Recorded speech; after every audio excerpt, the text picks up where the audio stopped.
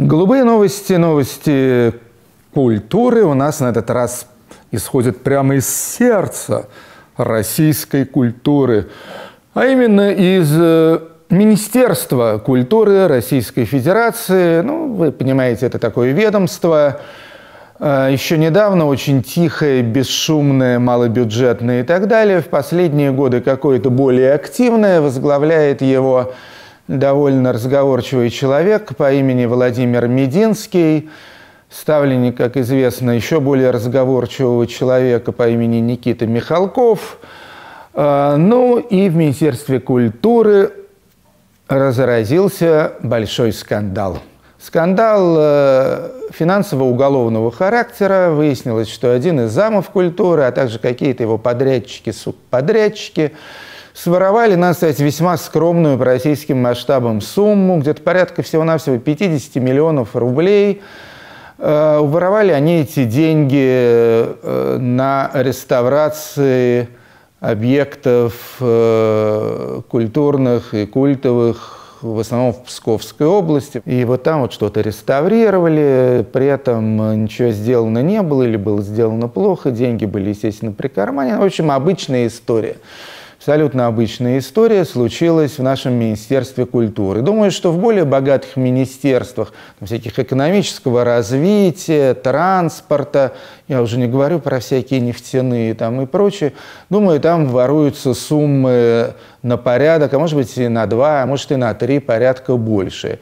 Тем не менее, попалось в Министерство культуры, ну, я думаю, ничего плохого в этом нет. В конце концов, мелких воришек э, тоже ловить иногда стоит. Вопрос, каковы могут быть последствия этого дела?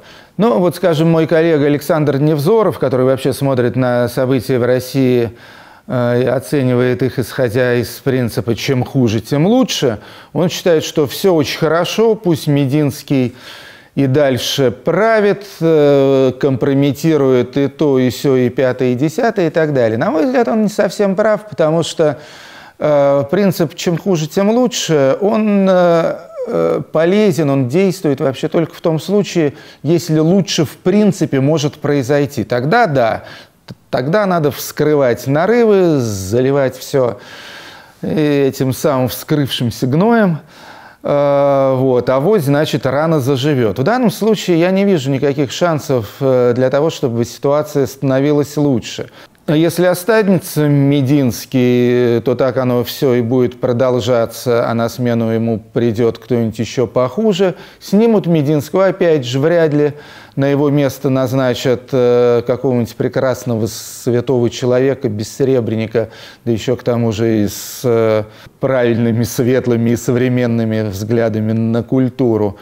Э, могут взять и поставить, скажем, дамочку, забыл, как ее зовут, она сейчас главный редактор российской газеты «Культура». Вот удивительный совершенно орган, она мне попалась один-два раза в самолете. Я ее читал просто, надо сказать, с полуотвисшей челюстью. То есть это такой просто боевой листок, орган по борьбе с космополитизмом, американизмом, антисоветизмом, э, русофобией там и так далее. Что не статья, буквально вот на какую бы тему они не писали о древнерусском искусстве, о классике.